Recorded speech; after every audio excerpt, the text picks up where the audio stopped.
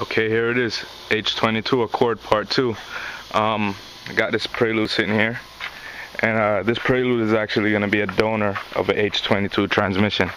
It has an engine in there, but it, it might be blown. I'm not too sure. But here she is. After a, a long time, about two years, and a lot of work done, a lot of trouble, a lot of sweat, a lot of tears. Not really tears, but a lot of blood. A little bit of blood. Anyways, um, this is it. It's lowered on some 18s. You can see how low she is there. I have the VTEC dual overhead cam sticker, but I did it different from um, how it comes on the SIs or the Type Rs. I wanted it to be done that way. My neighbor actually did it for me there. Nice guy. Got my license plate if you want to get the scoop on me, find out where I live and come to my house and like slice my throat. Got the exhaust. 2.5 inch straight back. It's a little cheap exhaust, but it was welded on there pretty well. You can see the swooping lines of the coupe here. Sunroof. It is in EX. I got the JDM black housing headlights, amber corner lights, got the lip which I installed myself, and the grill. By the way, I bought this off of eBay. This is the knockoff JDM grill if you're gonna buy one of these grills, buy the Mugen type grill. If you have the money, buy it. This grill was $80 and it didn't fit. I bought it from a company called C-Mod. Do not buy it from them. Took a lot of cutting just to get that thing in there. Well, cut the crap out. I'll start her up really quick for you here so you can hear how she sounds. Only has 100 and a 19,000 miles on it. Love this car. There she is. You can see her.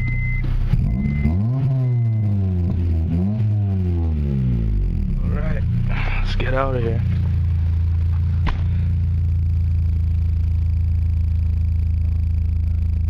Has a weird twiny, twinging sound. You know that uh, how should I say, rice sound, which I don't like, but hey, you can't win them all. There she is. All right, recap of what was done. 97 to 01 Prelude um, power steering bracket. The mounts were loose. As you can see, that Hasport mount, Hasport mount didn't get um, get bolted in there properly. Broke the power steering line, so now I currently do not have power steering. Timing is off in here. Timing is off about a whole inch. When I corrected it to the proper markings, the car started running like shit, or like crap, sorry, excuse my language. Um, so I had to retard, I believe, re this is retarding the timing. I had to retard the timing to get it to run a little bit better. It's not running perfect. It lags horribly in the low end, but it moves really fast in the high end, and especially when VTEC kicks in. Um, I had to put a new starter, new front mount, new Hasport mount, 97 to 01 H22 throttle body. This is the OBD um, one motor. Um, newer distributor cap, newer um, throttle position sensor, new map sensor. This thing has a lot of new items. Um, new timing belt. We'll forget all about that. Uh, car still has low mileage. It runs you know, a lot of people say that this car is uh, quick, but I don't think it's as quick as it should be. It has that problem with the um, with the timing. I don't know why when I set the timing properly, it, it, it does this. And I would really like some help. Uh, you know, two years ago I asked a question, you know, to throw it out there, and I've come a long way. As you can see, I'm very serious about this car. I've even got the H22 tranny waiting over there you know? It's it's running on a P13 because the guy who tuned my P28 uh, let's just say he wasn't that uh, good of a tuner. So I had to rip out the P28 and I put back the P13 in there. And if there's any suggestions any tips any help I could get from my YouTube community I would really appreciate it. As I said the main thing right now is the timing. I just need to get the timing done and then I'll work on um, getting it faster and uh, making it look prettier and painting it and things like that. Um, yeah, thank you. This is H22, H22 Accord Part 2. I'll go ahead and make a Part 3 in a couple months after I get it her running a little bit better and paint it up and um and in part three I'll give you uh, some videos of how the car runs. The car runs decently.